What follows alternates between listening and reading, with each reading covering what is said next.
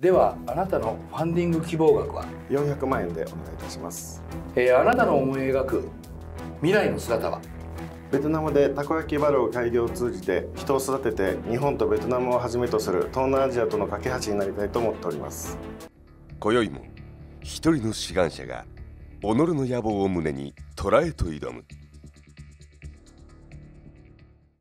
3つの中から希望の投資形態を選んでいただきますけれども、えっと1番が融資です。2番が投資です。3番が社内ベンチャーということになりますけれども何番ご希望されますか？融資か投資でお願いいたします。じゃあ1番か2番ということですね。はい。皆さんよろしいですか？1番融資2番投資になりました。なぜたこ焼きが嫌なのかっていうのは、はい。じご自身が今たこ焼きをやってるからっていう理由なんですかそれともたこ焼きがこれからベトナムで流行りそうとかご自身でリサーチを何かされたとかそういった理由があるんですか？はい。えーま人からお金を借りたりとか投資してもらったりしてはい。やるっていうこと結構リスクがあると思うんですけど、はい。今までみたいにこう今までと同じような感じで失敗しちゃう可能性とかっていうのはあんまり考えないですかね？いいですか？はい。あの私飲食店やってるんですけど、えーでホーチミンも1年半前に行きました、はい。はいまさにその日本人街も行きはいました、はい。で、まあ、あの辺知らないわけじゃないんですけど、はいはい。ご存知の通り、はい。あそこって狭いじゃないですか。はい。でかつ、まあ、日中にじゃあすごく人がいるかっていうとそうでもないし。はいはい。で夜もやっぱ限られたお店で,、はい。で全部のお店がうまくいってるわはいけじゃなくて、はいはい。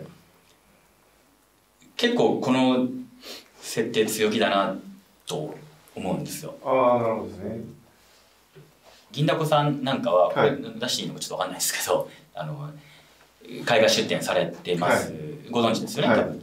であのまあ並んでるんですよ、はい。ご存知かわかんないですけど台湾とかそういうところの、はい。でやっぱ美味しいし、はい。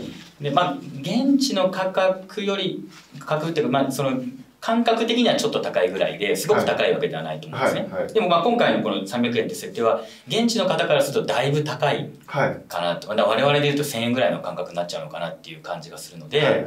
結構高い。はい。まあでも、まあ、それでもやっと買いたいってなるブランド力がすごく重要じゃないかなとはい思うんですよ、はい。でもでかつこのそのブランド力があればこの数はいけると思うしそれデリバリーというよりはその行列をさせるよっぽどの味か、はい。ブランド、まあ、それこそ長谷部さんのところとかまさにそうだと思うんですけどあのそれがちょっとこれだと見えないんですけどはい。よっぽど美味しいですか？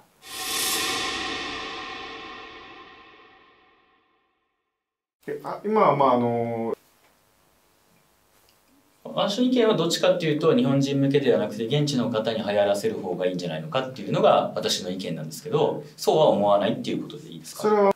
まああのなんかごめんなさい何度もしつこいようですけど日本人向けに限っちゃうとかなりマーケットが狭いと思ってるんですよ私は。はい。でそれで、えっと、毎日毎日、えっと、ランチだけでも20人。で、まあ、年間それからその2年間その現地の方に知ってもらうまで持つかなっていう日本人だけのマーケットで。あごめんなさい。私は価格は下げなくていいと思ってるんですけどブランドと味はい。がよっぽどじゃないと難しいんじゃないのかっていう。でもそれがちょっとこの数字だけだとわからないので、はい。あのちょっとそれが伝わってこないんですけど。ああそうです